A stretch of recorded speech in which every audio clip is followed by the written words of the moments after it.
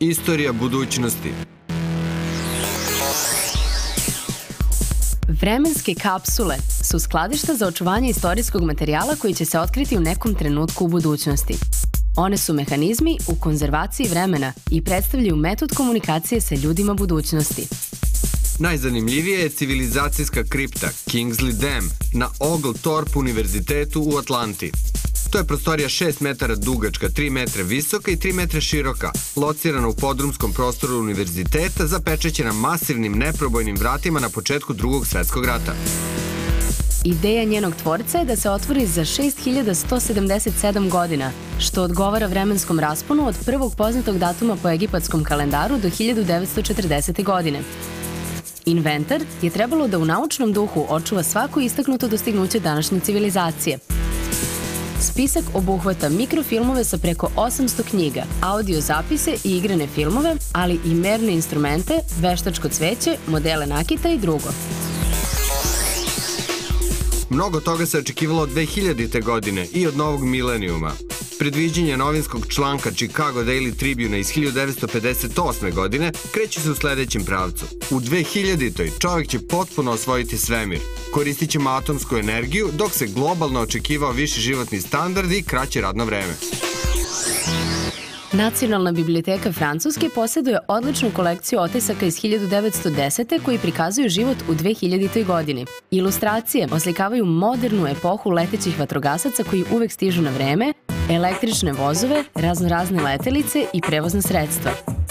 Životinje su proterane iz urbanih sredina i predstavljaju kuriozitet. Navike potrošačkog društva najavljene su kroz, za to doba, inovativnu upotrebu sintetičke hrane. Zbirka nemačkih razglednica s početka 20. veka takođe anticipira promenu u 2000. godini. Izradila ih je jedna od najčuvenijih fabrika čokolade tog doba, Hilderbrands. I one su zaokupljene idejom novih mašina, pokretnih trotoara, podvodnih vozila i osvajanja neba. Ovde je budućnost lepo upakovana u šarenu ambalažu kakao tabli.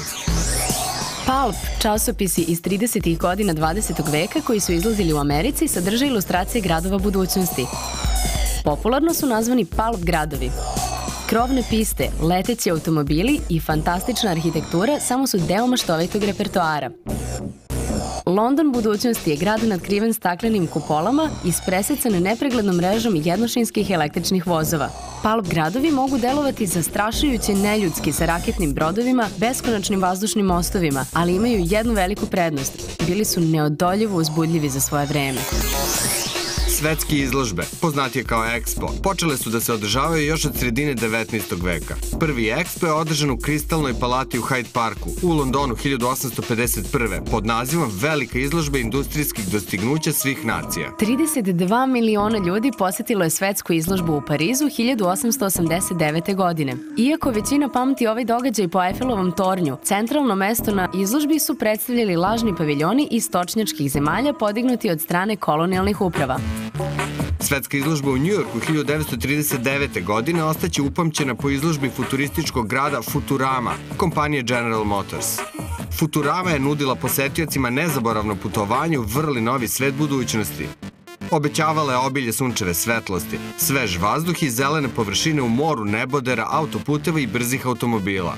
Pažnju su privukli jedan od prvih televizora i ogroman globus planetarium. Jevrijsko-palestinski paviljon je predstavio svetu koncept moderne jevrijske države, koji će dekadu kasnije postati Izrael. Arhitektonska rešenja za simbol svetske izložbe postala su vremenom zaštitni znak određenih gradova kao što je slučaj sa tornjem Space Needle koji je podignut kao simbol Sijetla za Expo 1962. Atomijumom koji je izgrađen za Expo 1958. u Briselu ili modelom planete Zemlje, unisferom postavljenom u Njujorku 1964. Expo u Montrealu 1967. smatra se najuspešnijom svetskom izložbom 20. veka sa preko 50 miliona posetilaca i 62 zemlje učesnice. Okosnica izložbe bilo je arhitektonsko rešenje kompleksa Habitat Moše Savdije.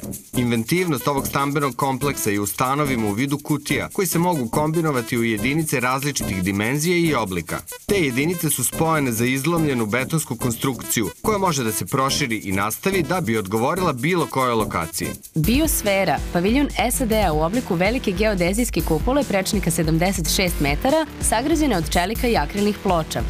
Danas je Biosfera muzej posvećen vodi i životnoj sredini. Najposećeniji je bio paviljon Sovjetskog saveza. Srebrno-siva građevina sa istaknutim datumima 1917. do 1967. obeležavala je 50 godina postojanja Sovjetskog saveza. Eksponati svemirske tehnologije bili su izloženi u kosmos sali. U paviljonu se nalazili pozorišna sala sa 600 sedišta, gde su se emitovali sovjetski filmovi, dokumentarci i modne revije. Expo pod nazivom Napredak i harmonija za čovečanstvo prva je svetska izložba održana u Japanu u Osaki 1970. i predstavljala je simbol brzog razvoja i napretka Japana. Glavna atrakcija bio je veliki kamen sa meseca u američkom paviljonu donešen u Apollo 11. Mesto održavanja izložbe je danas Expo Memorialni park, a jedini sačuvani eksponat je toren sunca japanskog umetnika Okamoto Taroa. Od 1992. do danas, Expoji su dobili karakter nacionalnog brendiranja. Koristi se prilika da se poboljša izgled i utisak zemlje kroz različite eksponate u nacionalnim paviljonima. Expo 2008. održat će se u Saragosi pod nazivom Voda – jedinstveni izvor. Jedan od internacionalnih paviljona biće i rečni akvarijum. Posetioci će prolaziti kroz niz sala posvećenih svetskim rekama Amazonu, Nilu i Mekongu. O prošlim i budućim svetskim izložbama pogledajte expomuseum.com. Urbane utopije su sredinom 20. veka bile naučno-fantastične vizije gradova budućnosti. U obliku kugle, lebdećih svemirskih brodova, podvodnih, podzemnih. Danas su ove građevine realnost. U izgradnji je prvi podvodni luksuzni hotel Hidropolis arhitekta Joakima Hausera. Nalazi se na 20 metara dubine u Arapskom zalivu. Boravak u prvom podvodnom hotelu sigurno neće biti jeftin, a dok ne skupite dovoljno novca, putovanje kroz Hidropolis moguće i na adresi hidropolis.com. Dubai projekat nudi rešenje nebodera budućnosti. Stambene ili poslovne jedinice su mobilne i rotiraju oko centralne ose građevine.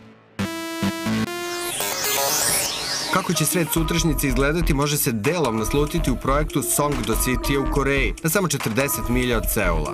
Songdo će biti prvi potpuno zeleni grad na svetu koji će emisiju štetnih gasova svesti na nulu. Budući stanovnici Songdo City-a iskusit će neponovljiv kvalitet života, pre svega zahvaljujući novim tehnološkim dostignućima. Projektom se želi podići najlepši i najfunkcionalniji grad na svetu.